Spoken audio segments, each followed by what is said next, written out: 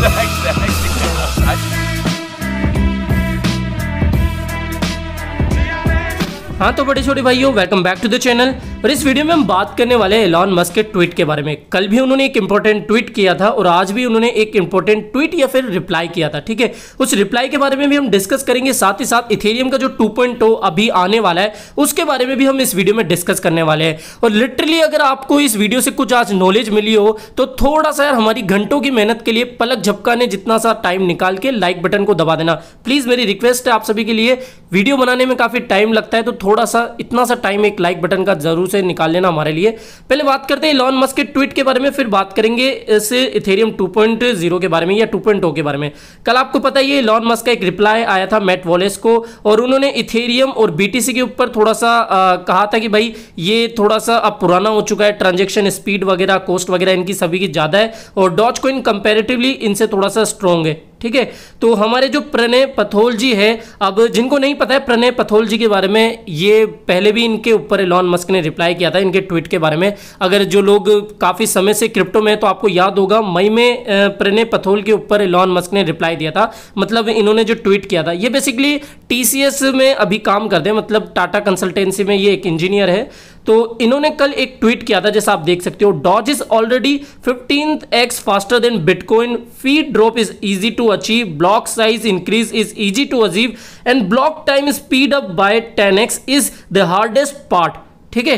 तो बेसिकली उन्होंने ये बताया कि जो बिटकॉइन जो है, वो पंद्रह पंद्रह गुना पहले ही फास्टर है बिटकॉइन से। जो फ़ी है, वो भी अब कम कर दी गई है और उसको भी अचीव करना ईजी है। इसके अलावा ब्लॉक साइज़ को इंक्रीज करना भी कोई बहुत बड़ी बहादुरी नहीं है।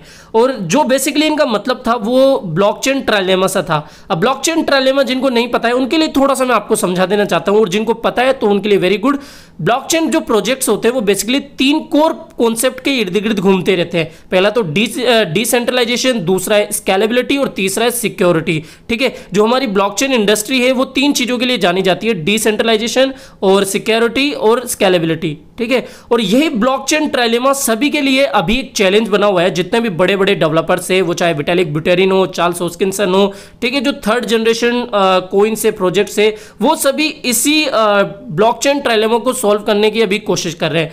इसमें बेसिकली क्या होता है? एक ब्लॉकचेन नेटवर्क एक ही समय पर या तो स्केलेबल हो सकता है, या फिर डिसेंट्रलाइज हो सकता है, या फिर सिक्योर हो सकता है। एक समय पर ये तीनों चीज़ें एक साथ नहीं हो सकती कि भाई आप कहो कि भाई एक समय पर आपको स्केलेबल नेटवर्क भी चाहिए डिसेंट्रलाइज भी होना चाहिए वो, और सिक्योर भी होना चाहिए। तो अभी तक ऐसा नहीं है, ये तीनों चीज़ों में से सिर्फ़ दो चीज़ें एक से एक वक्त के लिए हो सकती है। ठीक है? तो इन्होंने यही ट्वीट किया था तो इलोन मस्क ने इसके ऊपर रिप्लाई दिया है, ठीक है? ये शायद दूसरा या तीसरा रिप्लाई है, प्रणय पथोल जी के लिए हमारे इंडियन है तो ये काफ़ी अच्छी बात है।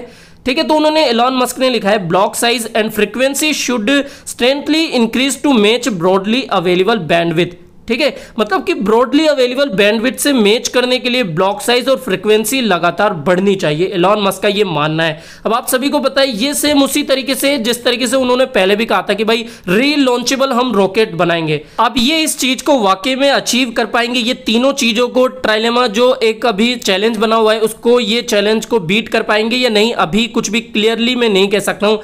ठीक है, लेकिन ये ज़रूर है कि भैया इन्होंने रीलॉन्चेबल रॉकेट्स को भी लॉन्च कर दिया था, ठीक है? तो वो भी एक बहुत बड़ा चैलेंज बना हुआ था नासा के साइंटिस्ट वगैरह के लिए, लेकिन उन्होंने ये कर दिखाया। तो अब देखते हैं इन फ्यूचर में क्या होता है। अभी ये काफ़ी एक अच्छी अपडेट है कि एलॉन मस्क लिटरली डॉच के बारे में कुछ सोचते हैं और उसकी डेवलपमेंट पे कुछ ध्यान दे रहे हैं। और जो भी उनके डेवलपर्स हैं माइची ल्यूमिन वगैरह, जिनके बारे में हमने बहुत पहले भी वीडियोस में बात करी हुई है बहुत बार बात करी हुई है। तो अभी ये सभी डेवलपर्स शायद इसी पर काम कर रहे हैं।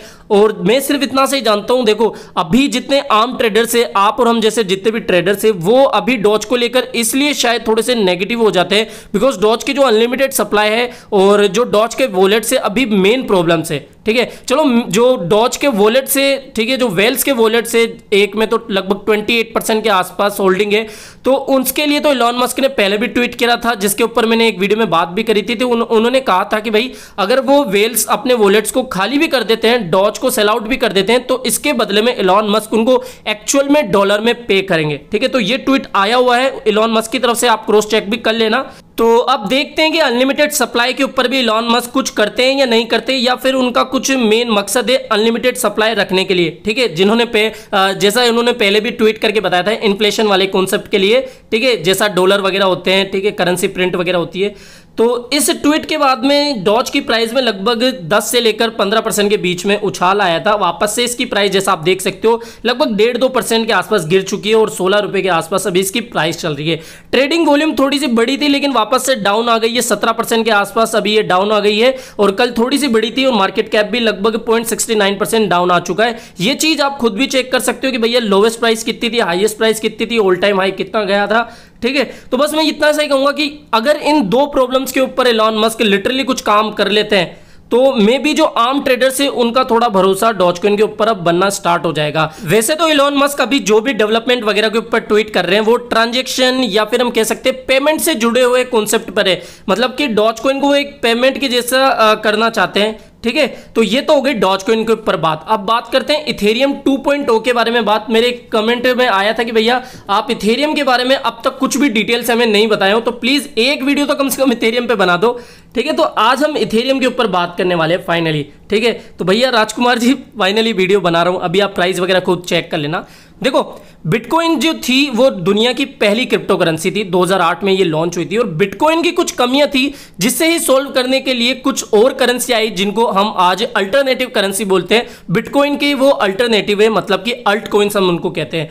अब बिटकॉइन की जो एक मेन प्रॉब्लम थी, उसमें क्या मेन प्रॉब्लम थी? एक तो ट्रांजेक्शन की स्पीड थी। मतलब कि जो ट्रांजेक्शन थी, वो डिले हो जाती थी। कई कई बार तो आपको एक एक घंटा लग जाता था ट्रांजेक्शन के लिए। तो इसी प्रॉब्लम को सॉल्व करने के लिए बिटकॉइन के अलावा फिर मार्केट में इथर भी आया एक्सआरपी भी आई रिपल ये सब आए, ठीक है अल्टकॉइंस लेकिन जो इथेरियम के फाउंडर्स थे, उनको बिटकॉइन की लिमिटेड सप्लाई का जो कॉन्सेप्ट था, वो पसंद नहीं आता था। इसलिए उन्होंने कहा, आप सभी को पता है, जो इथेरियम के फाउंडर्स थे, उसमें चार्ल्स हॉस्किंसन भी थे, जो कि आज कार्डानो के कार्डानो या एडीए के फाउंडर भी है। विटेलिक बुटेरिन भी उनके फाउंडर हैं।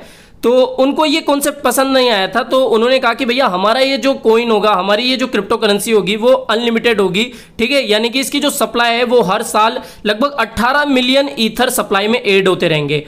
अब इथेरियम जब आया था, उस समय तो ये परफेक्ट था, उस समय के अकॉर्डिंग तो ठीक है? और लगभग 15 से लेकर 30 ट्रांजेक्शन आराम से ट्रांजेक्शन हो जाते थे। ट्रांजेक्शन स्पीड भी उस समय काफ़ी अच्छी थी कॉस्ट भी उस समय के अकॉर्डिंग ठीक ठाक थी। लेकिन अब जो क्या समय बदल गया और इथेरियम की ये कमियाँ बन गई है। इथेरियम की जो अभी वर्तमान या प्रेजेंट की ट्रांजेक्शन स्पीड है, वो पंद्रह ट्रांजेक्शन पर सेकंड से तीस ट्रांजेक्शन पर सेकंड तक की है, जो कि अभी के हिसाब से थोड़ी कम है। ठीक है, इसके अलावा जो ट्रांजेक्शन कॉस्ट है, आप सभी को पता है, बहुत ज़्यादा होती है।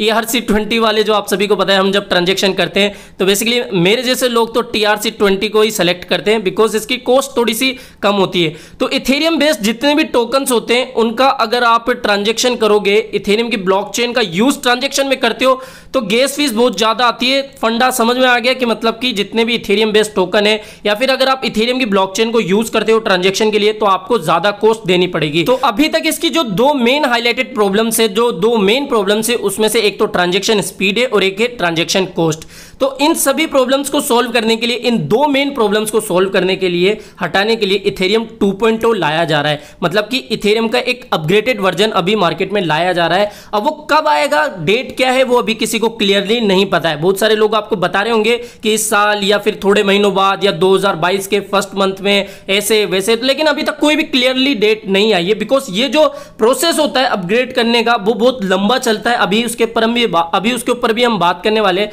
लेकिन एक छोटा सा डाउट और आपका सोल्व करने वाला हूँ बिकॉज़ कई लोग फिर मुझे मेरे छोटे बड़े भाई ये पूछेंगे कि भैया कोई नया कोइन थोड़ी आएगा मार्केट में? नया कोइन आ रहा है क्या इथेरियम 2.0 नाम का?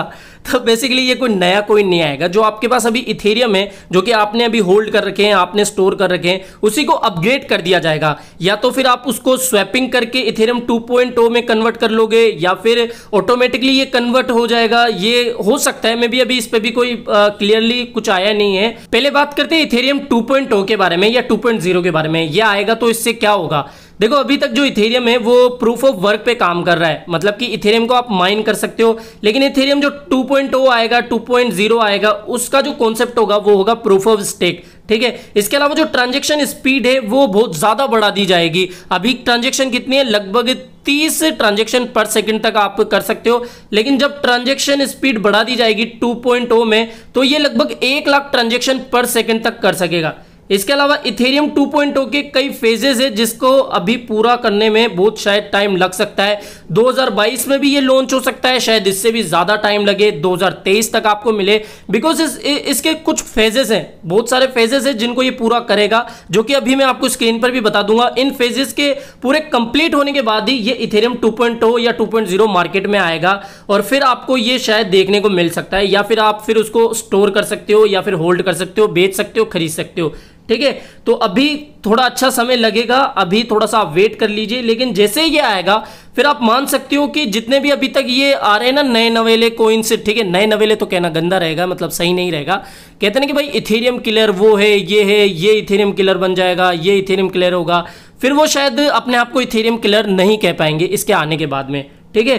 तो अभी कुल मिला के बाद ये इथेरियम 2 पॉइंट आने वाला है बट कब आएगा ये इसके बारे में किसी को नहीं पता है। तो हाल फ़िलहाल जो आपके पास ये इथेरियम है, आपके गले में, इसी को देख के खुश होते रहो, इसी से आप ट्रेडिंग करते रहो। ठीक है? तो बेसिकली इस वीडियो में इथेरियम और इथेरियम 2.0 और जो डॉच कोइन है, उससे रिलेटेड हमने बातें करी। तो वीडियो अगर आपको थोड़ा सा भी पसंद आया हो तो डेफिनेटली वीडियो को लाइक करना है। थोड़ा सा उंगलियों को भी काम में ले लिया करो वीडियो को देखते समय, ठीक है? तो डेफिनेटली वीडियो को लाइक करना है। कुछ भी क्वेरीज कमेंट है कमेंट करके एक बार दे देना। कमेंट कर देना मतलब टाइम मिला तो प्लीज़ माफ़ कर देना अगर यार मैं आपको एक तो देखो सबके कमेंट के रिप्लाई नहीं कर पाता हूँ बिकॉज़ मेरे पास भी थोड़ा सा लिमिटेड टाइम होता है, जीवन में और कुछ भी काम धंधे होते हैं, उनको भी देखना पड़ता है तो सभी के रिप्लाई करना थोड़ा सा पॉसिबल नहीं हो पाता, ठीक है? फिर भी जैसे टाइम मिलता है, मैं बहुत से लोगों का रिप्लाई कर देता हूँ तो यही बात है कि वीडियो पसंद आया तो डेफिनेटली वीडियो को लाइक करना है। और कुछ लोग ये भी कमेंट करके बोलते हैं कि भैया फेस रिवील कब करोगे? तो समय आने दीजिए, ठीक है?